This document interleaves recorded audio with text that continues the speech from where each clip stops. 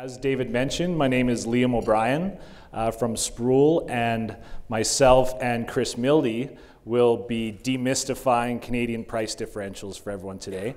Um, we'll start by describing the factors that went in to these uh, significant crashes at the end of 2018. We'll go into the um, influences that create what we call the kind of fundamental level of differentials or the expected level of differentials.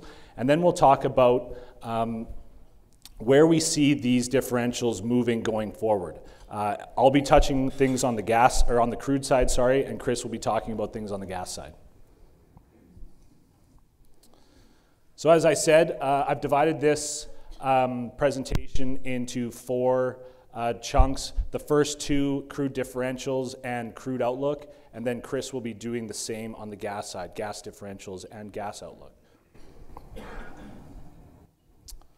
So in order to set the stage, uh, I wanted to show what happened in 2018, in particular, late 2018, that really got industry and media talking about these differentials, uh, Canadian differentials differentials, in particular the WCS and WTI differential.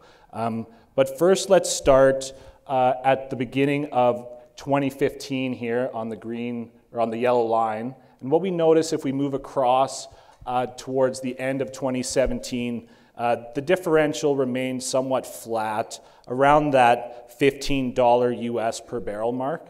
Um, and then uh, we see obviously what got everybody talking uh, towards the end of last year, differentials fell out or widened significantly. Um, so I'll be talking about what we think goes into this number here uh, in terms of a breakdown of a few different factors, the, the normalized $15 US per barrel differential. And then we'll be talking about uh, the factors that affected uh, or created this increase in differentials at the end of 2018, and then where we see these factors going forward. So, what creates price differentials for Canadian crude? Uh, this is a pretty simple formula uh, that we'll be breaking down over the next little bit. Uh, the price of a barrel of Canadian crude equals WTI crude in most cases, minus a quality adjustment, a transportation adjustment, and then depending on the factors, plus or minus any market factors going on. Um, so, to explain these price differentials, we have to explore a little bit of economic theory. Uh, the price of a good is underpinned by, we, by what economists call the law of one price, um, which tells us that in the absence of trade frictions, two goods, two identical goods, must sell at the same price regardless of location. Now, um, the important part in that statement two things uh, identical goods and the absence of trade frictions. So, if we apply this concept to Canadian crude in the context of the North American crude marketplace, uh, we have to ask ourselves a few key questions. Number one, is the crude marker that we're comparing our crude to, in almost all cases we compare to WTI, is it physically identical to a barrel of WTI? Um, the second question we have to ask ourselves is do we sell all our crude here in, in Alberta, or do we have to transport it to the same market that sells WTI, and is there a cost associated with that transportation? Uh, and then third, uh, are we operating under free market conditions, or are there disruptions or uh, market factors, market factors, market disruptions that are affecting our ability to access these demand centers for our crude? Um, and I'm sure, as most everyone here knows or is about to learn, uh, the answer to all of three of these questions is yes. There is a quality difference between WCS and WTI. There's a cost to transport our crude from Western Canada to the markets that demand our crude and consume our crude. And then there are, on occasion, um, factors and disruptions that either widen or narrow the differential depending on what's going on. So we'll get into quality, our first, our first variable in, in that differential equation. Um, there are two main components of crude quality. We have density, it's measured in API gravity, uh, and I'm sure most everyone here has heard the term extra heavy, heavy, medium, light. That's the range or the spectrum that um, describes density for our crudes, and then sulfur content measured as a percentage, uh, sweet being less than half a percent sulfur, um, sour being greater than half a percent sulfur. And so, how does Canadian crude fit into this? Um, it, it's important to note the majority of our crude that we produce in Western Canada and in Canada as a whole is heavy crude and is described by the Western Canadian Select marker. Uh, the Western Canadian Select marker is uh, a, it's a blend of crude, bitumen, and diluent, lands somewhere in the 20 degree API mark, uh, 3 to 3.5% sulfur content, which, which, which falls, which lands us right in this heavy, sour crude um, uh, point in the spectrum. Now, if we compare that to WTI, we notice, okay, WTI is a 40 degree API crude, it's a sweet crude, it lands on the light end of the spectrum. So right away, coming back to that differential equation, we know that there has to be a quality adjustment uh, because physically a barrel of WCS is not the same as a barrel of WTI. They have to sell in the same physical location. You'd expect them to sell at different prices because physically they're different things. So just to expand on, on why we talk about WCS so much, uh, this is a breakdown of uh, total Canadian production by crude quality. Um, 64, roughly 65% of crude production in 2018 came from the oil sands, uh, so that's heavy crude. Another 8% came from other heavy regions uh, in Western Canada. So over 70% from here across um, can be described by the WCS market, which is the biggest reason why we talk about it so much. It affects the vast majority of the production coming out of Western Canada. So, how do we actually quantify this quality adjustment? Uh, the best way to do this is to look at a barrel of WCS and a barrel of WTI in the same physical location. Uh, and looking at the price of WCS and WTI in Houston in particular is, is useful because it's the same physical location, so it eliminates that transportation variable in our differential equation. Uh, and it's a market, or it's an area of high demand for both WCS and WTI. About 50% of the US refining capacity uh, is on the Gulf Coast. And uh, Houston's a major trading hub for, for both of these products. And when we compare these two prices um, in a relatively stable market, market environment, we notice that the differential is somewhere in the three to five dollar range. So a barrel of WTI will trade for three to five dollars more than a barrel of WCS. So that tells us, or it's a good indicator of, of that $15 we talked about on the first, one of the first slides, uh, three to $5 of that is from the quality adjustment because of the difference between WCS and WTI. Moving on to transportation, uh, there are two main methods of transportation for our crudes in Western Canada. Number one, uh, pipelines, definitely the biggest or the, the, the, largest means by which we transport our crude. And number two, uh, in recent years, uh, especially in recent years, the export capacity by crude by rail has, has become more and more important as our pipeline systems become full and producers move to uh, different options to, to access markets for their crude. Um, so I'll be looking into uh, the the costs associated with pipelines in the transportation adjustment, and then I'll touch on the costs associated with uh, crude by rail exports as well. So, starting off with transportation, uh, we have three main pipeline systems in Western Canada. The first being the Enbridge system in, in yellow here. It carries our crude from Alberta to the US Midwest. Uh, refine, it's a major, the US Midwest is a major refining hub uh, we carry roughly, sorry, the Enbridge system carries roughly 2.7 million barrels a day worth of crude to the Midwest. So, so the vast majority of our crude exports leave Alberta via the Enbridge system. Uh, our second largest uh, system is the Keystone system, running uh, 590,000 barrels a day from Alberta to the US Gulf Coast uh, where there's, uh, like I said, a large amount of refining capacity, especially heavy crude refining capacity. And then uh, a smaller system, 300,000 barrels a day, moves crude from Alberta to the BC coast uh, via the um, Trans Mountain pipeline. So if we look now at the historical WCS to WTI differential over the last nine years, this is uh, the beginning of 2010 all the way to the end of last year and actually the first month of this year.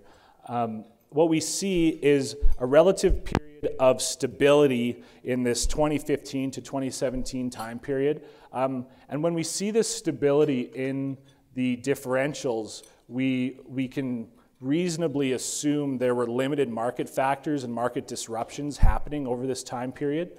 Um, and I'll get into a little bit uh, of this in particular, this time period in particular, a little bit later. Um, but what, what this level of stability allows us to do is to estimate the transportation cost associated with these pipelines. Um, if we take this negative 50, or sorry, this $15 differential, roughly $15 differential, and we back out that uh, three to five dollar estimate we, we made for uh, the quality adjustment, we end up with uh, the transportation adjustment via pipelines being somewhere around that nine to twelve dollar range. Um, uh, the, the, the, contribute, the contributor to the transportation adjustment via pipelines in our differential equation. Uh, but pipelines aren't the only way we move our crude anymore. Uh, it's important to talk about uh, transportation uh, via crude by rail and how it's increased significantly over the past few years, really ramped up uh, towards the end of 2012 uh, in response to these increased differentials here. Uh, and, and you can see how the differential responded uh, as a result of this increase. in any event, we estimate it, it, is, it is a more expensive means to transport our crude, uh, we estimate it lands somewhere in the 15 to 25 dollar barrel range. Barrel, uh, range. It really depends on the types of contracts that producers are signing with shippers. Uh, they'll, they'll definitely get more agreeable terms and a lower, a lower per barrel price the longer they agree to sign up for.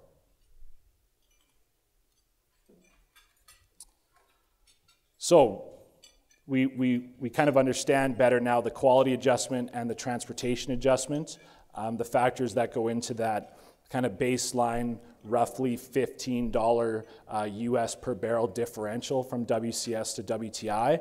Um, now we'll talk about the third factor in our differential equation, uh, market factors, or in particular market disruptions and how they affect these uh, price or these price differentials um, that we receive for our crude. Uh, the two main market factors that I'll be touching on uh, and the two biggest contributors uh, definitely in recent, in recent years are the demand for our crude or disruptions to that demand uh, and what impact do demand disruptions have on the price we receive for our crude. Uh, and then the second, the second point that I'll be going into is our access to these markets that generate this demand. If market access is restricted, how do, how do the differentials respond? Um, uh, how does the WCS differential respond to WTI? So the first thing we have to understand uh, when we look at demand and demand disruptions is how much of Western Canadian crude is exported and how much of uh, Canadian crude is consumed locally. How much do we depend on these external demand centers uh, to um, how, how, much does the price of our crude depend on these external demand centers? Uh, roughly 15% uh, of the crude we produce is consumed locally by local refiners in Western Canada. We have roughly 600,000 barrels a day of refining capacity in Western Canada, and the rest, 85%, is exported. And the vast majority, uh, if we think back to this pipe, our pipeline chart, um, with the Enbridge system and the Keystone system, the vast majority of this 85% gets sent to the US. So 85%, uh, where is all this crude going? The uh, US is divided into five districts. They're called Petroleum Administration for defense districts, uh, often referred to as PADDs uh, for short. Um, and the majority of our crude goes to PADD 2 uh, in the Midwest via the Enbridge system, and PADD 3 via the Keystone system uh, to the Gulf Coast. And uh, this is just a breakdown of how much exactly we send to each PADD uh, on a barrel per day basis and how it's grown uh, with growing Western Canadian production over the past nine years. Um, you notice this, this yellow orange chunk here. Uh, this piece is exports to PADD two, uh, which makes sense. It's, it's where the Enbridge system terminates. Um, what isn't shown is not all of this crude is uh, refined in the US Midwest. Some of this crude is rerouted to the US Gulf Coast. Uh, it's just how the data is, is collected. It shows up as, as PADD two. Uh, suffice it to say, the two major points, or the two major points of uh, destination for our crude is PADD two and PADD three. So now that we know that the majority of our crude gets sent to PADD two, uh, and, and so we can deduce that we are obviously very dependent on demand from PADD 2. We can look at how demand disruptions in PADD 2 have affected um, the WCS to WTI differential over the last couple of years. And what we notice, um, I guess first I'll, I'll explain what we're showing in this blue line here is refinery capacity utilization, um, basically refinery on time from refiners in the Midwest, uh, and, and then uh, against the WTI, WTI to WCS differential in US per barrel. Uh, and what we notice is a relative uptrend in uh, the WCS to WTI differential, or a decrease in the price that we receive for our crude in absolute terms, uh, during periods of demand disruption on the refining side. When refinery capacity goes down, the differential goes up, there's more competition for our crude, and producers are willing to take less for their crude to get it into these refineries. Um, and what we're seeing at the end of 2018 is a significant drop in refinery capacity utilization um, from these Midwest refiners. And as we would expect, the differentials responded accordingly.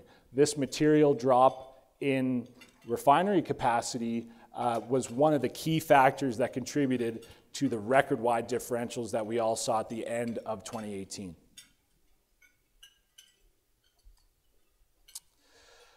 So now I'll move on to the impact of market access disruptions and um, uh, the impact they have on the WCS to WTI differential. Uh, what we're showing here is the existing pipeline capacity uh, is the light gray, okay? And then Overlaid on top of that is Western Canadian production and the WCS to WTI differential. And what we're going to look at is the response to WCS um, to WTI differential uh, over periods of relative pinch points between this pipeline capacity chart uh, or this pipeline capacity line and the production line. Um, if we start in the 2013 uh, 2012, 2013 time period, we notice we were starting to see some pressures on our um, pipeline capacity, uh, on production growth, and of course, as suspected, the differentials uh, grew. Um, so, so it's important to, to keep in mind that what we saw at the end of last year wasn't necessarily the first time we've seen it, um, to, to some extent, anyways. Uh, and then we saw the differential start to decrease uh, towards the end of 2013, moving into 2014, as crude by rail exports picked up. Uh, that really took pressure off of the uh, pipelines and allowed the differential to stabilize somewhere in this kind of 20 $22 range, which is what we would expect um, or, or, or, can be explained by the higher cost associated with crude by rail exports. Um, and then we move to 2015, and what we saw here was a fairly uh, significant dip in Western Canadian production. Those were, uh, that, that dip is a result of the uh, producers in Western Canada shutting in production on low global oil prices. Uh, that was the time period just after 2014. Prices really fell out as OPEC abandoned their swing producer role, flooded the market uh, in conjunction with the US light tight oil. The crude prices came down and producers responded. And that helped take some pressure off of the pipeline system and normalize differentials here. Then we see this significant dip in the spring of 2016. Uh, these were the Fort Mac wildfires. Uh, they had such a material impact on production or cutting production over that time period that they helped normalize differentials over the remainder of 2016 and into 2017 because of that alleviated pressure on the pipeline systems. And then, of course, we move now into 2018, and what we notice is this white space between uh, the production uh, line and the pipeline capacity line. Um, this surplus, as expected, put a lot of pressure on pipeline systems, um, and the differential responded. It, it increased significantly. And so it was this gap here, in conjunction with this outage at the same time, that really helped create these massive blowouts of the differential in November, October, November of 2018. And then moving into 2019, we have this drop in production here. These are the production curtailments. Um, we, we took 325,000 barrels a day off production uh, at the order of the, of the Alberta government, and uh, we saw differentials respond. They, they, they narrowed significantly as suspected. So, one last thing uh, uh, that's worth noting or worth looking at is this pipeline, or sorry, this uh, crude by rail export capacity chart uh, and how it's responded. This is, the, this is the crude by rail export capacity in blue, uh, and then again the WCS to WTI differential. And we notice uh, how it responded in that 2012 to 2013 time period when the differentials had reached um, what was at that, at that time record levels on that pinch point between uh, pipelines, or sorry, production and pipeline capacity. And then over the last few years, it's, it's remained somewhat of a, a baseline contributor to moving crude. Um, it's helped stabilize the differentials over the last year, uh, but of course, in late 2018 or over 2018 when we started to see production grow and grow out of Western Canada and breach that line of pipeline capacity uh, and differentials uh, responded. We saw crude by rail respond as well. It, it increased up to 350,000 barrels a day of export capacity in just a matter of months to try and capitalize on moving those extra barrels. Um, and then, of course, uh, in the last month, as we would expect, We've uh, reduced uh, production by 325,000 barrels a day, um, and crude by rail has since responded. Uh, it's cut back now to somewhere around that 150 to 160,000 barrels a day range in the last month or so, uh, off of 350,000 barrels a day in December, January. Um, so, just just to kind of recap. Uh, I know I've gone fast, but we have, we have a, lot, a lot of information to digest here. But um, I've touched on that differential equation that we have WCS equals WTI minus quality adjustment minus transportation adjustment plus or minus um, the market factors. Uh, and now that we understand what goes into the differential and why they exist, uh, I'll touch on what we're kind of seeing on a more global basis uh, for oil and gas, or for oil, sorry, and then um, how Canada fits into, fits into that picture. So I'll start with some of the key themes that are driving or under, underpinning the global oil price um, right now. The first being the OPEC plus one production cuts. Um, in, an, in an attempt to balance what was an oversupplied market in late 2018 or second half of 2018, OPEC plus Russia agreed to another round of production cuts, this time for roughly 1.2 million barrels a day of, of supply curtailment. Um, and they're almost at full compliance now. They're roughly just shy of 1.2 million barrels a day uh, since January, and that's really helped alleviate crude prices in the last couple of months. The Brent price, uh, the global marker for crude, is up roughly 30% since January 1st. Uh, so that's a material increase. Uh, the, the, the OPEC uh, plus Russia production cuts really helped bring market into balance in short order. Uh, the second point um, is US light tight oil. We continue to see robust growth coming out of US light tight oil, in particular the Permian. We've seen record growth uh, come out of there in the last couple of years. We continue to see um, robust growth for another year in 2019. Uh, but then moving beyond this year into next year and the year after, we're starting to see um, a few factors that we expect will limit growth coming out of these plays uh, in the next couple of years. We're starting to see uh, companies uh, lose or decrease their, their capital budgets as investors really emphasize or put pressure on producers for cash returns.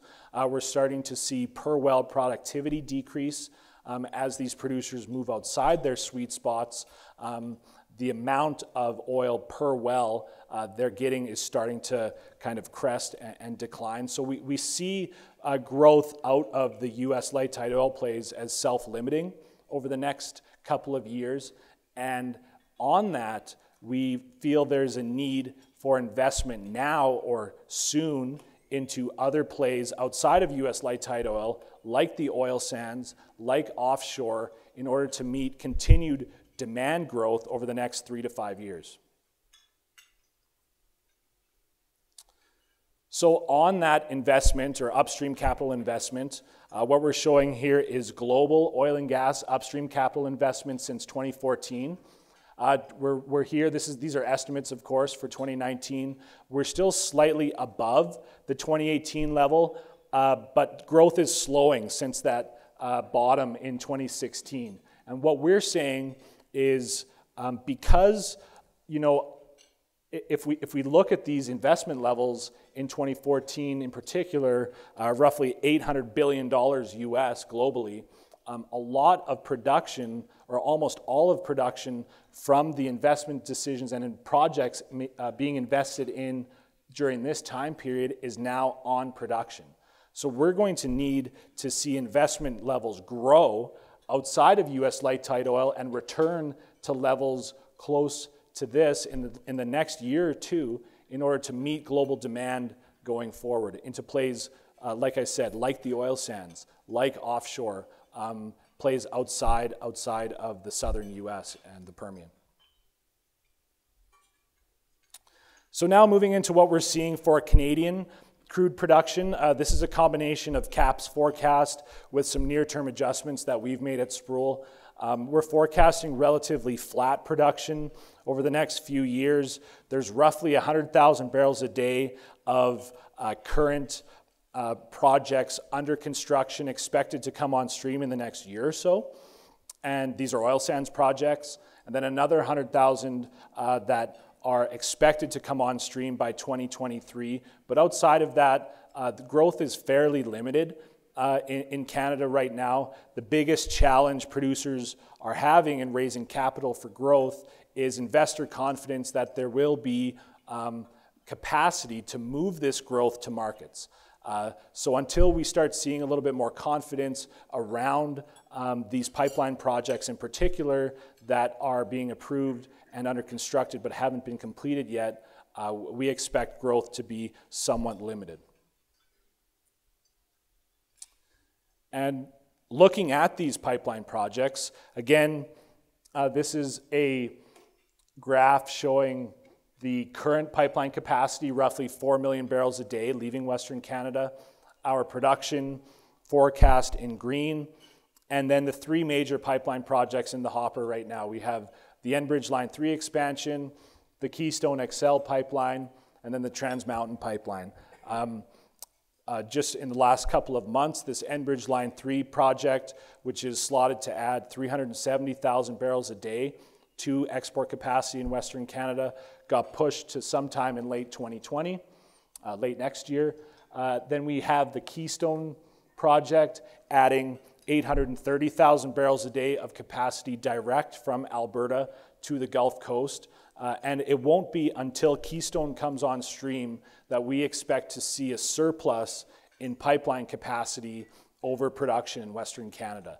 Um, so that Keystone project will really be key to alleviating some of the pressure on our pipeline systems. Uh, and then, of course, Trans Mountain adding roughly 600,000 uh, barrels a day uh, of export capacity to the BC West Coast sometime in that 2023 2024 timeframe. And in the meantime, uh, we have this empty space again between production and pipeline capacity, and that's where we see crude by rail really playing a vital role in filling this gap and allowing for production to grow at least modestly over the next couple of years.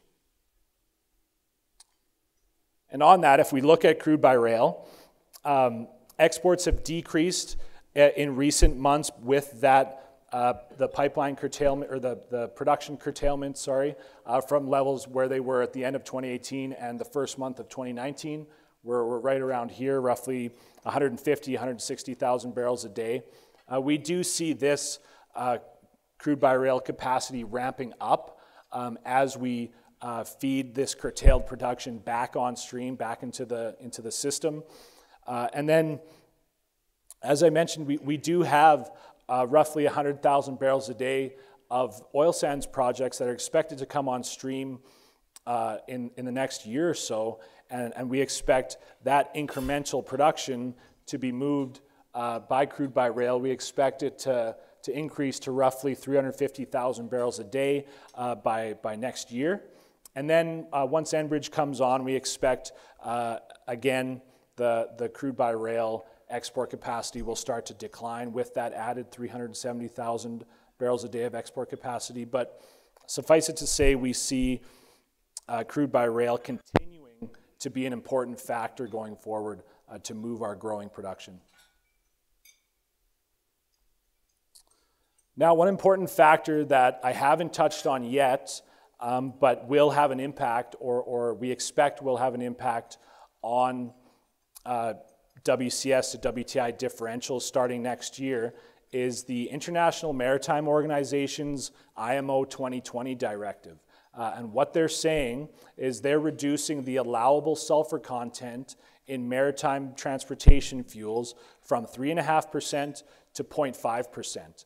Uh, and that's a, that's a fairly material drop um, in terms of sulfur content in, in these maritime fuels. And we expect to see, because of this drop, a drop in demand for high sulfur fuel oils, um, and in turn, a drop for global heavy sour crudes. Now, uh, there are some questions uh, surrounding compliance of this directive and enforcement of this directive globally. Um, so, so there are still questions uh, surrounding the effects and the impact of IMO 2020. Uh, but nonetheless, we think we estimate roughly a one to three dollar US per barrel uh, increase in the WCS to WTI differential because of IMO 2020, uh, causing globally a, a decrease in heavy sour crude demand. And now, finally, our outlook for WCS to WTI. Um, one thing I haven't touched on yet, but I will briefly, is the uh, essentially the reversal of uh, what was going on in late 2018 when the differentials had diverged from fundamentals because of market forces. Um, they, they grew to exceptionally wide levels. Uh, now, in the last couple of months, we've seen the reversal. We've seen them actually fall below what we would expect to be the fundamental level because of the combination of the decrease in supply from the, the, the production curtailments, the 325,000 barrel a day curtailment, uh, in combination with an increased demand for our heavy crude on the US Gulf Coast because of sanctions on Venezuelan heavy crude. Refiners are scrambling to get more crude. There's a higher demand for us, lower supply, and it's narrowed that differential. Um, nonetheless, we think that in the next couple of months, as this production starts to come back on stream in Western Canada, this curtailed production, uh, differentials will start to increase, return to fundamental levels, and remain there for the next couple of years, somewhere in that 18 to $20 range, underpinned by the transportation economics of crude by rail and the quality adjustment um, uh, of WCS to WTI crude. And on that, um, I will pass it off to my colleague Chris to talk about the same thing on the gas side. Well, I think that was an insightful look into the uh, uh, Canadian crude market and the outlook. Over the next 15 minutes, I'm going to do the same on, on the gas side. I won't go into as much detail, but as you will see, the story on the gas side shares a lot of the, the same um, uh, traits as we've, we've just talked about on, on the crude side. So in terms of the base uh, benchmark we have in, in the Canadian gas market, uh, which is AECO, uh, the differential to Henry Hub has seen a widening, as you can see on this chart with the, you know, the gray bars uh, over the last few years. Um, and, and we'll talk a little bit about that uh, in, in this. But in terms of the framework that Liam established around how these differentials come about, it's very similar on, on the gas side with one major exception, and that is the fact that you've got uh, really the, the quality side of it captured in the heating value, which is part of pricing for natural gas because we price it in you know, BTUs. Um, and so that's really taken care of already and built into the price. But we do have the transportation adjustment, which is really the price of getting the gas uh, from a Canadian place into end user markets, wherever that may be in the integrated North American market. And then we have a series of market factors that have been really driving that volatility uh, around the AECO differential to the point where pricing has been negative at times. Uh, and we've seen some um, uh, real uh, challenges around the price where it's been really delinked from fundamentals. So talking a little bit about that, uh, you know, the heating value um, and how that is already reflected in the price. This is still an important component in how producers of gas think about the economics for gas. Uh, and, and the key really is to uh, you know, think about do I leave it in the gas stream and get paid for the heating value based on gas pricing, or do I process it and, and get paid separately for, for the NGLs? And as an example, you'll remember you know, a, a few years ago, we had significant volatility around pricing for propane, for example, where propane pricing at times went negative. And you know, in those cases, you would have been a lot better off just leaving it in uh, the gas stream. Uh, having said all that, you know, there are contractual obligations that sometimes dictate uh, what you can and cannot do. Uh, you may have take or pay obligations on, uh, on pipelines and, and processing. And the other thing is that pipelines themselves have specs around how rich or how wet or how many of the NGLs you can leave in the gas stream uh, to transport it. So we have one pipeline which is the Alliance pipeline that's really been built uh, to get wet or rich gas to, uh, uh, to, the, to the Midwest.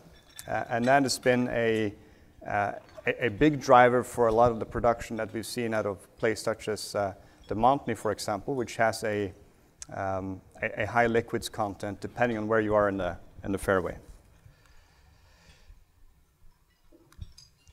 Now, all things remaining equal, uh, in terms of transportation, uh, it, it's really a, you know, a function of uh, how much it costs to pipe your gas uh, from the uh, uh, Western Canadian you know, key, key, producer hubs to end user markets. And, and, as you can see, you know, this is kind of showing some of the, you know, the, the differentials and, and costs around that. Um, it can differ quite a bit uh, depending on where you send your gas. And so for a lot of, of uh, uh, Canadian producers, they've been focusing in these times where the AECO market has been very challenged to diversify their exposure to different markets to maximize the, the economics that they can get for their production. And, and part of that uh, strategy has really been, been because of that, uh, uh, you know, the, the, number of market factors that have caused some havoc around those differentials. And, and I'll touch on, on, on, three of them. There are three main ones in our minds. Uh, and so one is the surge in gas production that we've seen in the US to the point where US production um, has now gone into a surplus position. The US is now a net exporter of gas through LNG. They're also piping down to Mexico. Um, and in that market, you know, Canadian gas is really, uh, uh, you know, peripheral. And it's led to the, uh, the notion of Canadian gas really being the marginal molecules in that integrated North American market. The second aspect of it is the, uh, you know, the number of bottlenecks that have been um, developing in, in uh, Western Canada, very similar to what we've seen on, on the side, uh, on the oil side Liam just talked about. And part of that is because you know, we, we have uh, had uh, new production hubs in areas like the Montney and Duvernay, so new type of, of tight resource plays. Uh, and that, that's where we've seen most of the growth, whereas most of the legacy infrastructure is, was really geared towards servicing other production hubs around more conventional gas production in Alberta. And so the infrastructure hasn't really kept up with that. Uh, and that's, again, very similar story to what we've seen on the, on the oil side. And the, the third aspect around market factors, and this is really more of an opportunity than a challenge, is the fact that we have now a North American market that's really taking the lead in the development of the global LNG market through the number of projects that have been constructed or are being built on the Gulf Coast um, in the US. And also in terms of how we think about contract terms and flexibility around that, the uh, US market has been uh, a driver and will continue to be a driver in the future. Now, Canada has not played yet in that market directly, but we do have LNG Canada that, that got, got to FID uh, late last year. And uh, you know, when that gets built, it will be the largest infrastructure investment um, through private capital in Canadian history. So that, that's a significant undertaking. And as we'll, we'll see, something that can really shift the fundamentals of the Canadian gas story as well. So how does really Canadian gas fit into the future for that evolving global market? And, and we like to revisit this slide, which really talks a little bit about the history of, of, uh, of the natural gas market in, in North America. Uh, and, and, it's, and it's key because it shows how quickly the market changed and the magnitude of that changed. And it also offers a great case study um, and, and as a warning for anyone trying to predict the future. So if you look at back in 2007, the US was the world's largest importer of natural gas. Right? We, we saw all these regasification terminals built uh, because the expectation was that that would continue to, uh, to, to, grow in terms of the need to import gas from other uh, parts of the world. And that Canada, in fact, was not going to be able to produce enough gas uh, to be able to uh, address that shortfall that was expected to develop in the US. Now, um, with shale gas from places like the Barnett, uh, you know, the Haynesville, increasingly the Marcellus, starting to show the sheer amount of gas that could be produced commercially in the US, that market really turned. And, and it turned to the point where in 2017, the US became a net exporter of gas.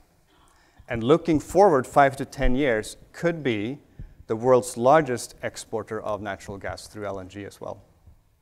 And of course, from a Canadian perspective, um, you know, that, that changes things for us because the US was, was really our one key customer, and, uh, and we never saw that as, as something that would ever change. And if you look at how quickly that market changed, you could be somewhat forgiven that, although I guess uh, uh, you know, 10 years is a long time. Even 10 years though, ago, you know, Canadian gas was not really uh, expected to be a major driver of the North American market for gas. Um, but I would say that um, the story back then was that we didn't have enough cheap and abundant gas in Canada to be able to fulfill that role. You fast forward to today, and I would argue that Canadian gas is among the most competitive gas resources in the world. And what holds us back is the fact that our one key customer, the US, no longer really needs that gas.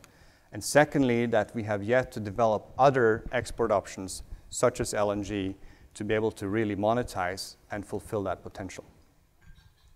And so, in that world, unless we fulfill that potential, we're going to be uh, peripheral in that integrated North American gas market. And we're going to continue to see you know, rather wide differentials relative to other more liquid hubs uh, and, and consumption centers, uh, whether that's Henry Hub or, or Dawn. In fact, you know, if you, if you look at uh, Eastern Canada, and this is a, another good case in point, there are projections out there that would suggest that if, if Canada doesn't develop LNG exports over the next number of years, there could be a scenario over the next couple of decades where we actually become net importers of gas because what we are exporting out east today is going to be replaced by cheaper, more readily available gas in places like the Marcellus in the US. And just to demonstrate how much that uh, production story has, has, changed in the US, you know, this is showing how, uh, you know, even in, in 2018, it increased by 15% on, on the production side. So this story is, is, yes, it's about the US becoming a net exporter of gas, but it's also a story of how that surplus is just growing um, increasingly every year. The shale revolution really started with, with gas. Um, and you know, in the last few years, we've seen you know, plays like the Marcellus and Utica in particular drive a lot of that growth. And this is dry gas as well. It doesn't really have much liquids uh, to support the economics. But the sheer scale of it um, helps support a, a, a story that uh, has underpinned uh, those changes in that market.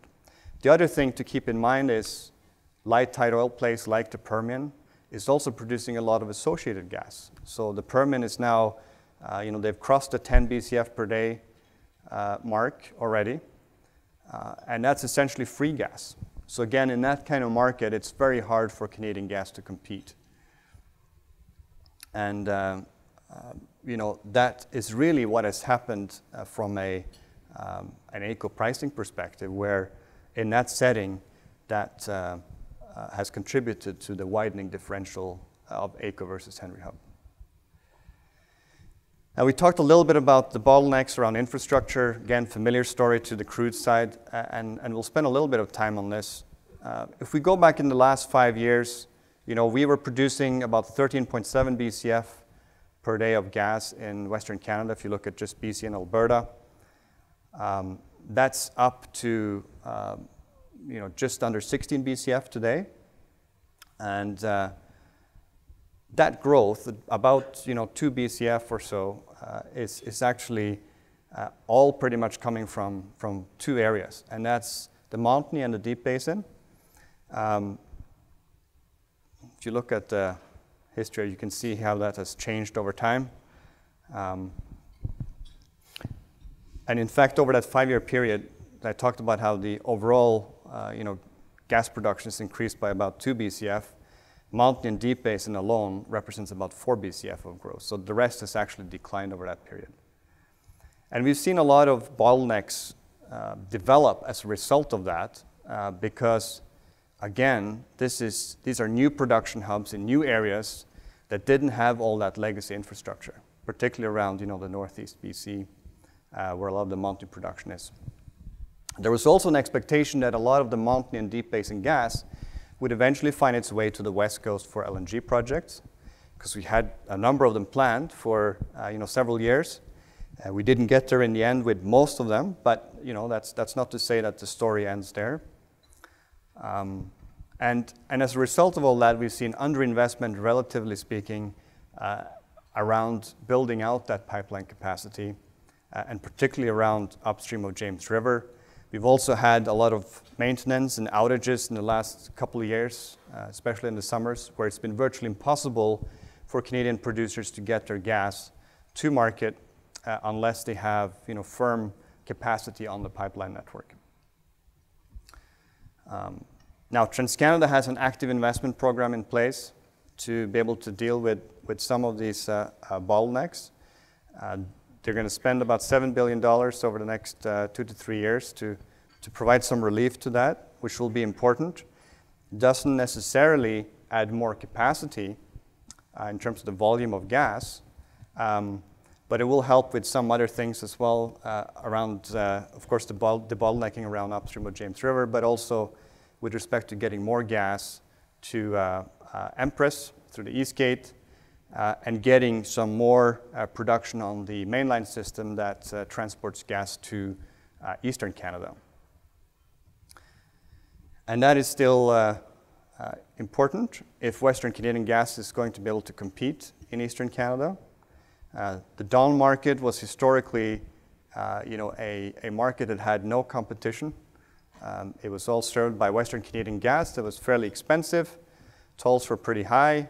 Um, you know, we were paying $2 per MCF uh, traditionally with, uh, you know, most of that essentially getting passed on to Ontario consumers. Now that changed once we got some real production coming out of the Marcellus, and last year we had the Rover and Nexus pipelines as well, which now have almost 5 BCF per day of, of new uh, production coming into the uh, Midwest and Ontario market. Now that creates some real competition at Dawn. Um, and with some spare mainline capacity is part of the reason why TransCanada worked with the, uh, many of the producers in Western Canada to sign up on, on a long-term um, firm capacity on the mainline uh, for 10 years, but at a much lower toll at 77 cents, which allows uh, Montney or, or other uh, lower supply gas to be pretty competitive actually at, at Dawn relative to the Marcellus. And the other thing, I guess, is, is Dawn is now emerging as a result of this as a key hub where we can see how this gas on gas competition will play out in, uh, in the Canadian market. So the only other thing that can really fundamentally alter the outlook for Canadian gas, I kind of alluded to this already, is LNG. And in the last couple of years in particular, we've seen a real surge in, in LNG demand, particularly from Asia. Uh, that is expected to continue um, to the point where we're seeing that supply-demand gap starting to widen um, and, and, start to really open up in, uh, in the mid-2020s. And that means that we have a rather short investment window right now, given the long lead time to get an LNG project built, uh, to be able to address that gap. And Canada really has um, great potential to be a, a, major player in the LNG space. Um, and we ought to be an LNG exporter. You know, in terms of the competitiveness here um, of the resource that we have, uh, we have about you know, half the shipping time to get to Asia relative to the Gulf Coast, even when you go through the Panama Canal, which is expensive. Um, that drives better economics on the shipping side. There's less boil off. We also have a cooler climate, which helps when you're dealing with you know, liquefaction minus, minus 162 degrees Celsius. Um, we have got cheap uh, gas as well as uh, you know, to, to drive the liquefaction process or hydro. And again, from an operating cost perspective, LNG Canada is, is set to be a very competitive alternative. Uh, capital costs are a little bit higher uh, in Canada relative to the US Gulf Coast, but that's because primarily uh, the US Gulf Coast projects were uh, you know, often conversions like Sabine Pass from regas terminals, where you already have a lot of the infrastructure built and you're already connected to, to the pipeline network. Uh, but if you compare the capital costs of getting a project built, say in Kitimat, relative to many other parts of the world, I'd say that Canadian um, uh, projects still stack up pretty well. And then you know you consider the fact that a lot of the LNG in the Canadian market is going to be underpinned by a resource like the Montney, where you have a lot of liquids, which favors greater economics. And then you also look at the potential for expansion. So, you know, LNG Canada is, is really uh, setting off initially with a couple of trains, uh, and we've got two BCF per day of gas going through Coastal gas GasLink to get it to the coast. Once you look at trains three and four, where really all the money is made, and, and you look at the potential to expand that pipeline capacity by adding another billion dollars of compression and doubling that capacity, we can now look at potentially you know, 5 BCF per day just through that one project to get 5 BCF per day of gas to the, to the West Coast in a market that today is around 16 BCF is going to be very significant. And let's not forget about the big picture. You know, Canada is a, a major player in the natural gas space globally. We're the fifth largest producer outside of the, uh, the US. We're really the only uh, jurisdiction that has uh, major resource plays that could be developed for LNG, maybe with the exception of Argentina through the Vaca Muerta longer term. Um, we have a lot of the know-how, the expertise, best practices, uh, and, a green profile around how we develop mega projects that, that resonates. Plus, we've got you know the, the portfolio um, attraction as well as you know we, we enter an era where uh, trade relationships have been somewhat fragile and where uh, Canada can offer uh, you know, another option for uh, particularly Asian players looking to diversify uh, their exposure to different markets. So in an increasingly global market for gas, you know, Canada is uh, going to play you know, either directly through our own projects on the LNG side, through one or, or more, or indirectly through the US uh, in that integrated North American market. So even though we're going to be that marginal molecule in, in the North American market, uh, we have tremendous potential and uh, monetizing and fulfilling that potential means we need to get LNG going.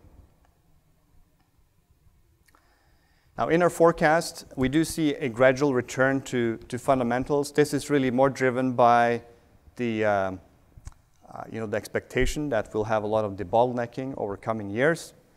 And, um, you know, we, we see that kind of settle at around a dollar uh, US between AECO and Henry Hub. And that's also reflective that we're seeing a lot more investment um, into uh, the NGTL system, for example, that will drive costs up over time, um, but where we'll see the bottlenecking and, and a return to fundamentals the other aspect of this is that Henry Hub, over time, um, should also get a lift from that greater integration and as a driver of that uh, evolution of the global market for LNG. So to summarize, yes, Canadian gas has lost market share in the US, and we're getting crowded out. We're becoming the marginal molecule. As US, as our only customer, has uh, become a net exporter themselves. But we do have the resource We've got the location, we've got the expertise to be, if not, you know, the leading player, at least a, a major player in the global market for LNG. Um, in the short to medium term, we see continued volatility around pricing, but help is coming, and that debottlenecking will, will certainly help stabilize that price over time. Longer time, you know, longer term, if we're looking out, as I said, uh, five years out, if we can get LNG Canada or other LNG export capacity uh, up, and, up and going. Uh, we have a real chance uh, to play into that global supply demand wedge that's, that's opening up and fulfill our potential, our potential as a, a superpower within the natural gas market. So, uh, with that, uh, I, uh, I, think we can open it up for, for some questions. So, so I've got a question on the gas pricing and how you think NGTL and AECO might evolve with the uh, evolution of LNG. Do you see a split in the tolling model from the Montney and the rest of the producers? Well, it all, it all depends on pipelines, really, uh, and, and what that ultimate tolling model looks like. I think uh, if you had, you know, the, the broader vision around an integrated system, uh, and I'm not saying this is where we, we end up, but you could foresee uh, you know, an option where you had a major pipeline, whether that's Coast, Coastal GasLink or not, rolled into a larger NGTL system, uh, which would help create you know, a, a, lower cost base for everybody um, and probably be a better reflection of where some of that gas is going longer term. Now, in the short term, that's not how we are conceiving of uh, you know, Coastal GasLink and LNG Canada as a project because it's fairly standalone. However, there are some outstanding regulatory hurdles around this very issue. So uh, I, I, think there is, in, in whatever that outcome might be, I think there will be opportunities to rethink how NGTL's uh, tolling model is going to evolve. And I think LNG is going to be a, a, net positive to how that develops. Uh, why do are there so many uh, refineries in the U.S. that are geared towards taking heavy oil that they need to import from countries like Venezuela, Mexico, and Canada? Well, it, it's really more of a legacy issue more than anything. You know, we haven't seen a lot of new refineries built in uh, in North America over the last number of decades, and and so it, it was really reflective of of the mix, um, you know, historically, with uh, you know the U.S. relying on a lot of heavier crudes from places like uh, you know Me both Mexico and Venezuela, uh, to some extent Canada, and so they've al always been set up as uh, fairly complex refineries uh, in a setting where the US was expected to continue to be a net importer of crude for the foreseeable future. Uh, and so I, I, just think it's a legacy issue that does not reflect the production mix today, but one that would be far too costly to really do anything about at this point. On the gas side, you didn't mention, you said that without the Canadian LNG exports, the industry is in a dire situation. What about the domestic demand opportunities? Uh, specifically within the power generation and petrochemicals? Thank you. Yeah, thank you. It, it, it's, it's a good question. It does touch on something that uh, is going to be one driver. There's no question that the fundamentals for demand growth domestically, especially in Alberta, remains uh, reasonably strong. But you know, we're talking about one to two BCF over quite some, quite a long period actually, over the next 10 years. So it's not really going to move the needle and, and wouldn't really allow us to truly realize that potential um, of a resource that's really world class, both in terms of supply cost uh, and just overall economics.